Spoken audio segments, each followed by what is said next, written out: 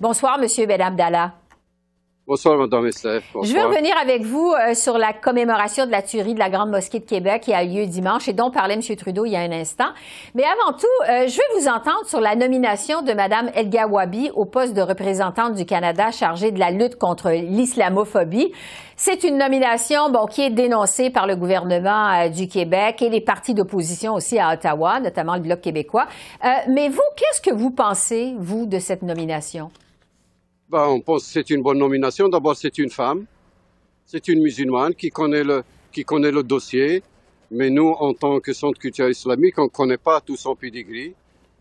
Elle est bilingue, elle, est, elle présente bien. Je pense qu'il faut lui donner la chance pour qu'elle puisse euh, euh, rétablir la situation. Mm-hmm. Euh, c'est pas uniquement de, de, défense, mais surtout pour, pour euh, trouver les modalités pour une meilleure compréhension à l'échelle du Canada d'un océan à un autre. Hein. Madame. sincèrement, moi, je... oui.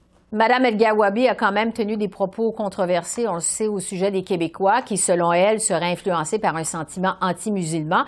Est-ce que vous croyez que ça va être possible pour elle de rebâtir des ponts entre les communautés après cette controverse-là?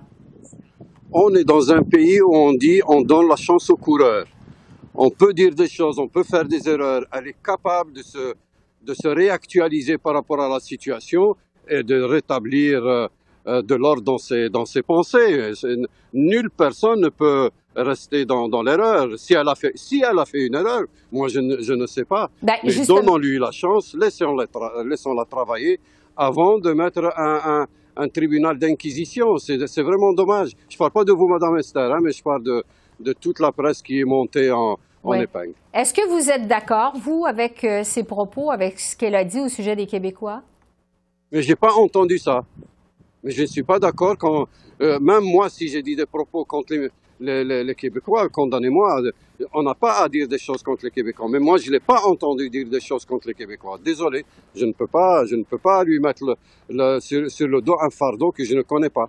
Oui, parce que, bon, elle dit, je le disais il y a un instant, que les Québécois seraient euh, influencés par un sentiment anti-musulman. Euh, Bon, on va parler euh, de cette commémoration dimanche euh, qui a eu lieu, euh, bon, six ans, là, on s'en souvient, ça avait choqué le pays au complet. C'était donc le 29 janvier 2017, un tireur qui avait fait irruption dans la salle de prière de la Grande Mosquée de Québec avait tué six personnes, en plus d'en blesser 19 autres. Parlez-nous de cette commémoration, de cette tuerie. Comment vous, vous avez vécu la journée d'hier?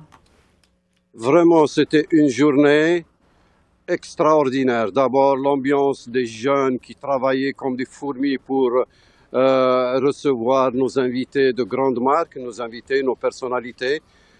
L'empathie de, de, toutes ces personnalités qui étaient là, autant canadiennes que provinciales, que municipales, et la population qui est venue. On ne peut pas demander mieux. On ne mm-hmm. peut pas euh, dire, ah, ça, il nous manque telle et telle chose. Les gens étaient là, les gens ont compati, on s'est rappelé le souvenir de nos, de nos frères qui sont tombés. On a entendu Ayman aussi euh, faire ses déclarations, lui qui a encore une balle dans le cou et puis qui est encore dans sa chaise. Merci à tous ceux qui sont venus, euh, d'abord le peuple, d'abord les autochtones et ensuite euh, toutes les personnalités, Monsieur Trudeau, Madame Geneviève Guilbeault et les ministres et les députés d'opposition qui étaient là. Vous avez euh, déclaré euh, dimanche vouloir plus d'actions concrètes de la part du gouvernement du Québec pour lutter contre l'islamophobie. Qu'est-ce qui doit être fait selon vous? Qu'est-ce qui va être fait? Maintenant? Il faut mettre des programmes dans lesquels on va se, se reconnaître, on va se, se comprendre. Plus on connaît l'autre, plus on n'est pas dans le doute on n'a pas peur de l'autre. C'est cette peur de l'autre qu'il va falloir enlever. Et je pense que le chemin est, ouvert.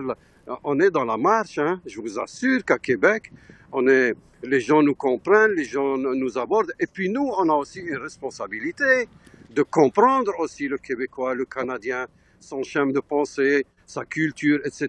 On a de part et d'autre du chemin à faire. On a commencé à marcher l'un vers mm-hmm. l'autre. Et je pense que on est sur la bonne route. Je suis convaincu.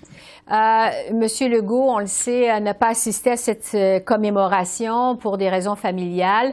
Euh, la semaine dernière, Monsieur Legault a encore une fois défendu la loi 21 sur la laïcité de l'État. Il a déclaré que c'est faux de prétendre que la loi alimente les préjugés contre les musulmans. Vous avez dénoncé, vous, cette loi à plusieurs reprises. Qu'est-ce que vous répondez à Monsieur Legault, au premier ministre du Québec, à cet égard? Ben, c'est ce qu'on lui a dit, Monsieur Legault. Vous avez un bon cœur. Dans cette loi, nous l'acceptons dans son, dans son ensemble comme une loi qui donne la chance à toutes les religions les spiritualités et à toutes les tendances d'être au même niveau.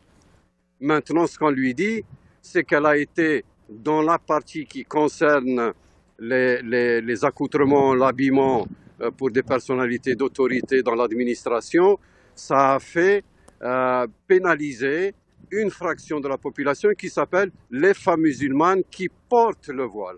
On lui a dit juste cette partie pour qu'il y ait de la bonne concorde dans la, dans la, dans la société, pour qu'il n'y ait aucune, aucun citoyen qui n'ait pas un droit au travail à cause de son accoutrement, réajustons cette loi. Mais on n'a pas dit toute la loi de la laïcité, il faut la jeter. Mhm. Non, ce pont, c'est un pont discriminatoire.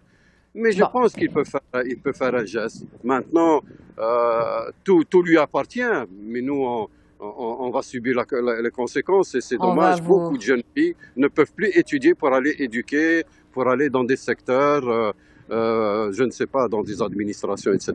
Voilà ce qu'on lui demande. On lui demande pas le ciel. Merci beaucoup, Boufelja Ben Abdallah. Je rappelle que vous êtes porte-parole du Centre culturel islamique de Québec. Merci beaucoup. On vous laisse aller là-dessus. Merci, Esther. Merci. Au revoir. Au revoir.